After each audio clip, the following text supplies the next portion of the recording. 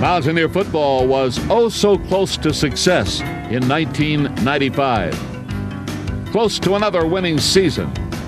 Close to a 10th bowl appearance under coach Don Nehlen. But it was quickly learned that this squad would have to battle more than just its opponents. Injuries decimated the team throughout the season. Frustration and disappointment were felt by all, as often the talented Mountaineers were their own worst enemy. Mixed in were a fair share of good moments and accomplishments. Enthusiasm also ran high, and the Mountaineers never quit.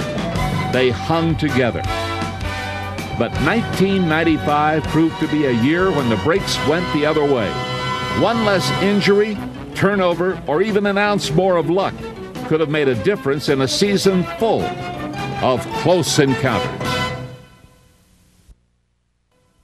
The 1995 West Virginia University football highlights are presented by United National Bank.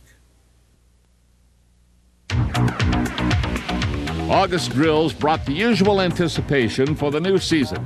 Expectations ran high, fresh off an appearance in the CarQuest Bowl and a 23rd place preseason ranking. A strong group of veterans returned on both offense and defense to fuel the optimism. The returning Letterman also seemed to make the transition easier for new coaches Desmond Robinson, Jerry Holmes, and Bill Lake. Big Ten opponent Purdue brought a challenge to look forward to in the opener, and the Mountaineers broke camp feeling good. After camp, I thought we had the best camp since I've been here in five years, and I, I had high expectations. I mean, I after being named captain, I was thinking, God, this is going to be a great season. We're going to do this, this, and this, and The 1995 opener was different than most. In many ways, the Purdue game set the tone for the season. The problems of slow starts in the first half, mental mistakes, or the big comeback that fell just short, it all started against Purdue. Down 19 to nothing at the half, the Mountaineers staged a furious comeback led by 390 yards passing from Chad Johnston the third best passing effort ever at WVU. 138 yards rushing by Robert Walker.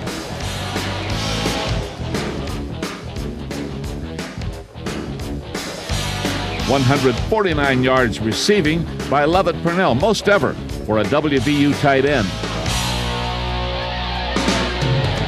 And 130 yards receiving by freshman David Saunders. Down 26 24, the Mountaineers dominated a tired Purdue defense and moved into position to win in the game's final second. But Brian Bauman's 26 yard field goal went wide right. A feeling of emptiness fell over a silent Mountaineer field. It was close, but still wide right. We were coming in with, uh, with really high expectations. And we played well the second half of the game, you know, and then ended up losing the game. But I, I really honestly don't believe that we ever fully recovered from that loss. We, we knew we should have won the game, and then just to lose it by that, that little couple of inches on that field goal, I mean, that, that really put a, a dagger in our hearts. West Virginia had plenty of frustration and took it out on the Temple Owls in week two. Not only was it the first win of the season, but an all-important Big East opening win. Here's the ball to Gary. Gary over the right side, cuts back into the end zone. Touchdown. Johnston had a solid day passing.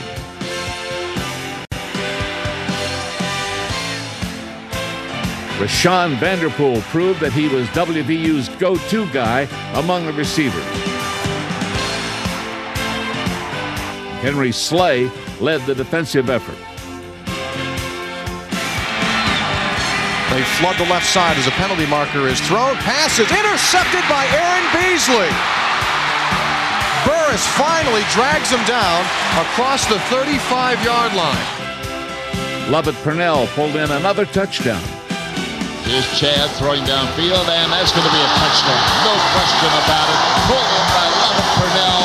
Inside the five. Purnell slanting toward the top and corner. Beat the defensive back.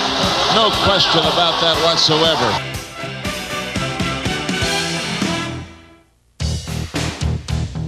After a loss at rain-soaked Maryland, where WVU could not overcome seven turnovers, the Mountaineers had something to prove against Kent.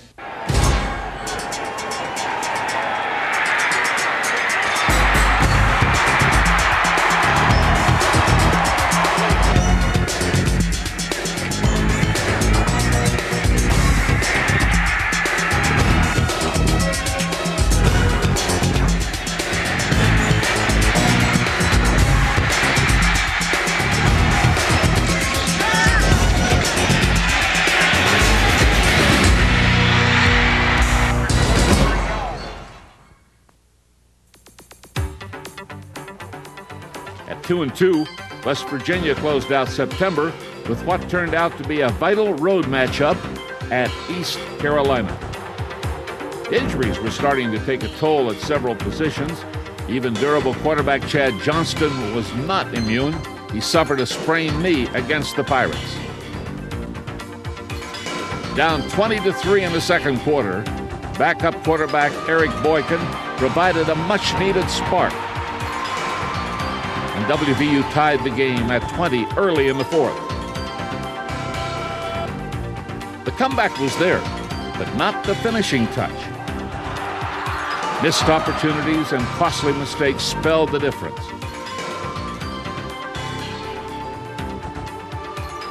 Close, but still a painful 23 to 20 loss.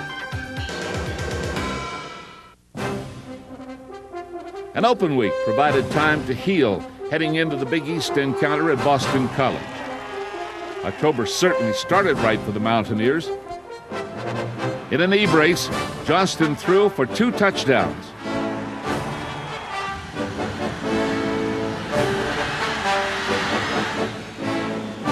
Fullback Kantroy Barber rumbled. Purnell and Vanderpool continued to be the main guys through the air.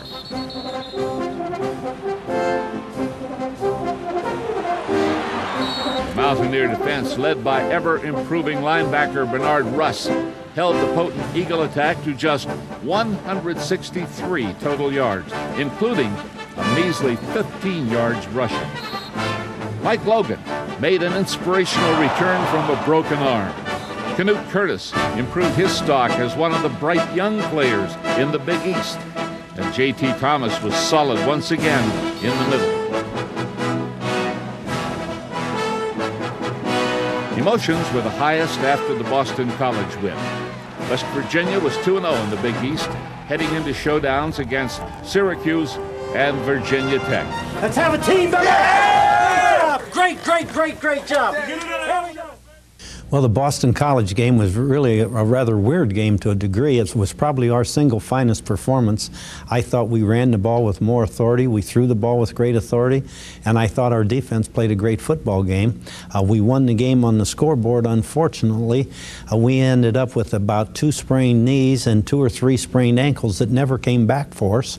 Uh, John Browning had come back the week before, and he went down on the eighth play of the game. So, like I say, we won the game, but we kind of lost the war because the next two or three weeks we literally didn't have enough players to play up front offensively, and it hurt us a great deal.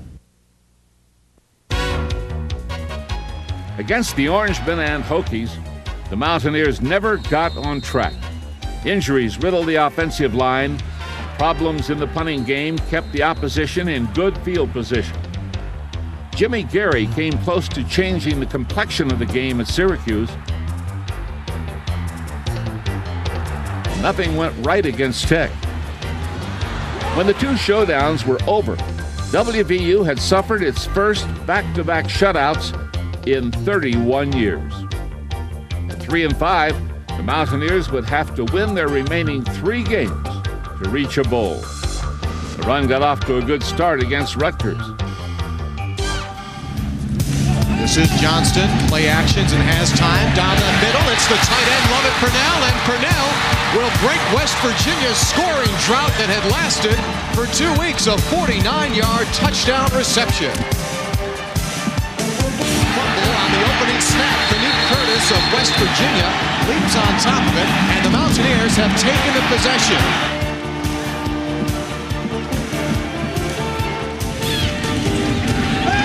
Johnston fires sideline for the freshman David Saunders in West Virginia. Picks up the first down. Will be a 25-yard attempt from Brian Mountain, and the kick is good. On first down, Ray Lucas rolls that pocket out and fires for Stephen Harper, who is wide open, and down the sideline goes Stephen Harper. Again on the ground. This is Jimmy Gary. Gary into the end zone for the touchdown. Lucas throwing on the run and the pass intercepted by Aaron Beasley. His fifth kickoff of the season. And Beasley will keep it. He's out over the 50, heading out over the 40 to the 30. They finally catch him inside the 30. Saunders motions over to the left. The ball pitched back to Gary. Gary trying to go wide. He'll make it. He's in the end zone, standing up for a West Virginia touchdown. And the shotgun and the snap back to Lucas. He's to the goal line. He's got a touchdown. Tossing it again to Jimmy Gary, and he's on his way in for his third touchdown of the quarter.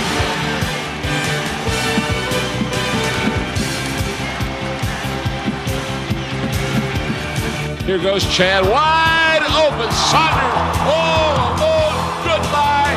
Is so long. Mountaineers blitz. Pass complete to Stephen Harper. He scored one touchdown this afternoon. On his way to the end zone. Touchdown, Rutgers. Johnston going to fire it deep for Lovett Purnell. He scored one this afternoon, and he's going to score two. Lovett Purnell will go all the way 76 yards for the touchdown, and Johnston fires his third touchdown strike of the afternoon third down and five The play action. Johnston steps up wide open. Saunders touchdown.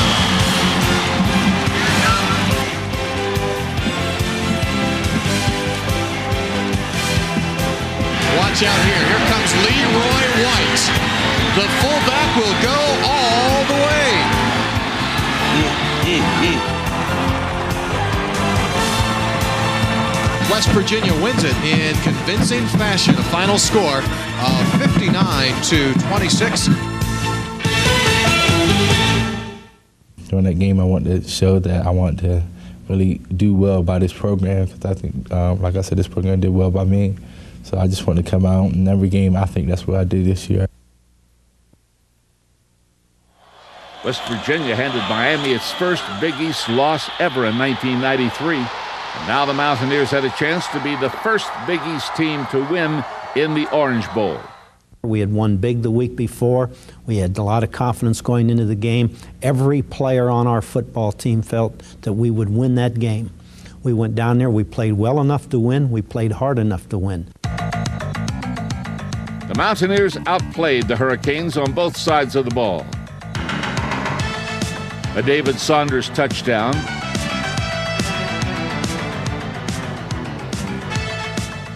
One hundred yards rushing from Jimmy Gary.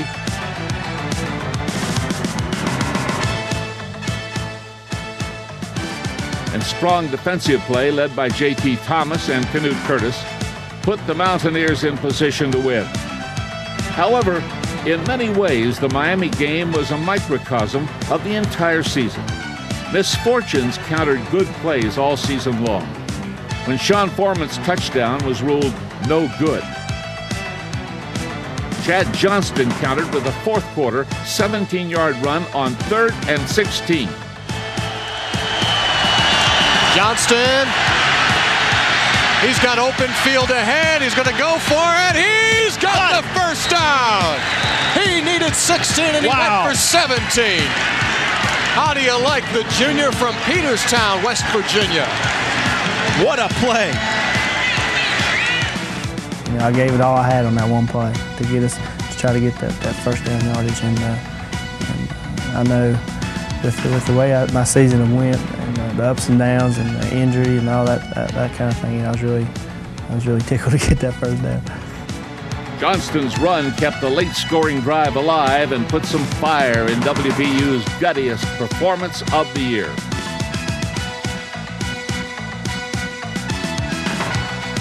But when the Mountaineers failed to score late in the game, hopes for a bowl and a winning season faded away.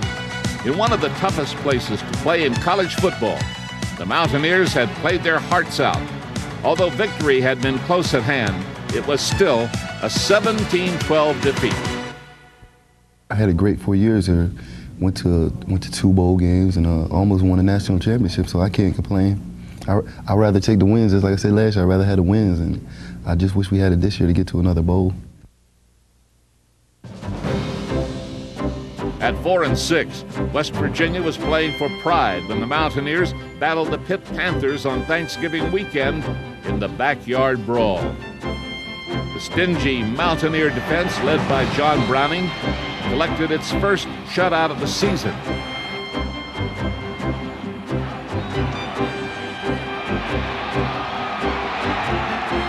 Mountaineer offense was all business in a 21 to nothing win. The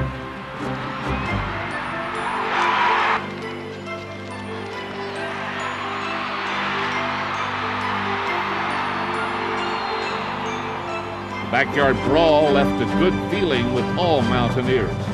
For the first time in Mountaineer history, WVU gained a fourth straight win over arch rival Pitt. Pitt game proved that this team kept fighting. It's easy to go out there and win and st- stick together, but it's hard. It takes a real man to go out there and lose week in and week out and stay stay together as a team. You can't just count us out. You know, we came back and played good ball. You know, unfortunately, um, a point here, a point there, or a situation here or there um, stopped us from going to a bowl game or um, not making that season as good as it should have been. But uh, it, it showed. I think our team showed a lot of character. Um, we um, showed that we could play uh, with um, adversity. You know, even though the outcome of the game didn't come go our way all the time, we showed that we never gave up. We always played to the fourth quarter, and we were just persistent on not giving up. No, the 95 Mountaineers did not quit. That's a tribute to some key seniors who kept the fight alive. Seniors like Aaron Beasley, who finished his career second all time in WVU interceptions, first in pass deflection, and a first team All American.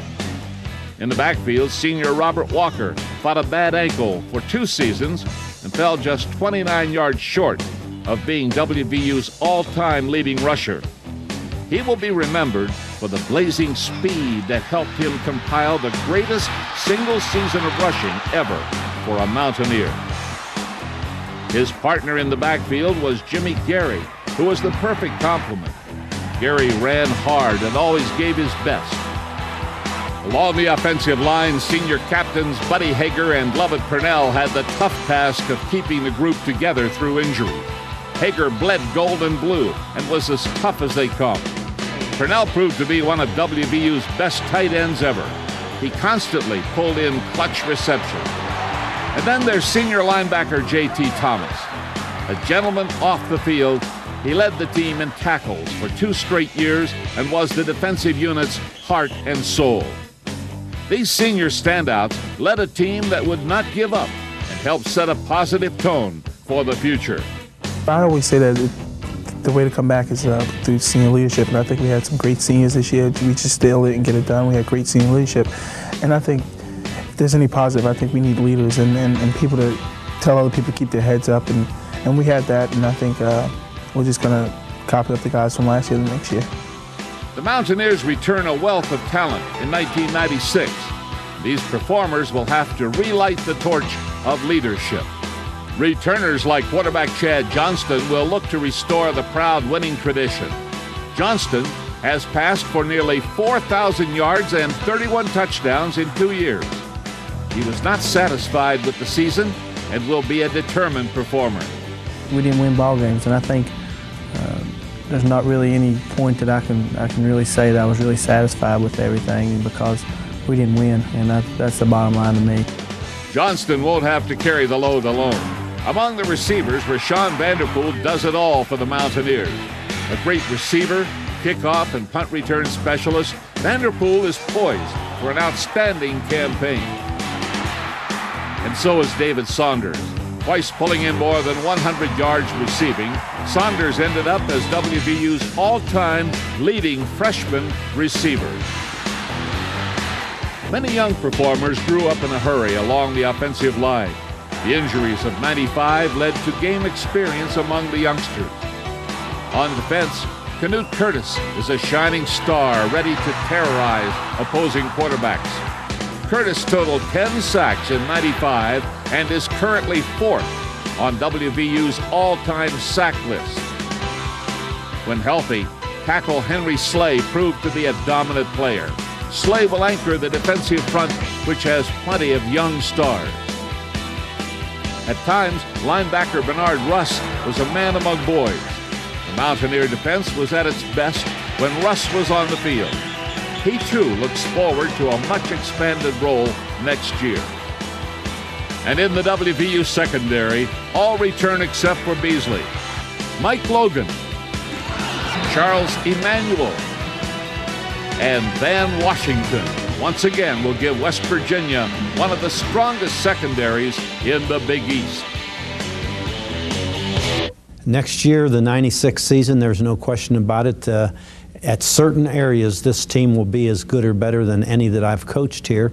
Uh, there's still some areas that we have major, major concerns with, but when you look at our wide receivers, I think you're going to look at at least three or four big league football players. I think will run well, will run well to the ball, and I don't have any idea what our win loss record will be in 96, but we'll be competitive with everyone. As for 1995, the record books will only show a 5 and 6 record and not the painful lessons learned. Injuries did play a key role in the final mark, but so did some costly mistakes that now provide the learning curve for future success. This was a good and talented football team that lost three games by five points or less. That proved to be too much to overcome in this season full of close encounters. The 1995 West Virginia University football highlights have been presented by United National Bank.